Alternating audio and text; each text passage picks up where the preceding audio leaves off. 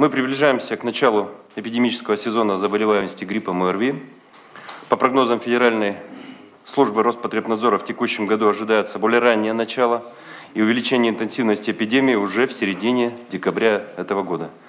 В прошлый сезон эпидемический подъем на территории области продолжался 7 недель и отмечался средней степени интенсивности. Обратились за медицинской помощью более 100 тысяч волокжан. Из них 64% пришлось на детей.